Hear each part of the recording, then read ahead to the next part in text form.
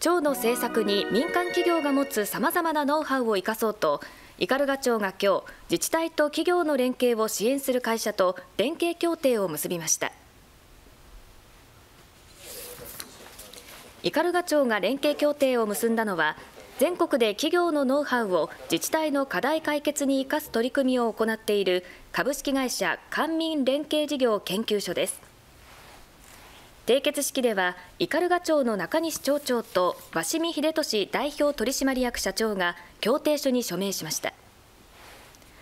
主な連携事業では町のさまざまな課題について解決する可能性のある企業の紹介や全国の自治体の取り組みをまとめたデータベースを職員が無償で利用できるようになります。斑鳩町では2021年に聖徳太子の没後1400年目を迎えることからホテルの誘致などさまざまな事業を行っており中西町長は今回の協定締結を新しいまちづくりに生かしていきたいと語りました。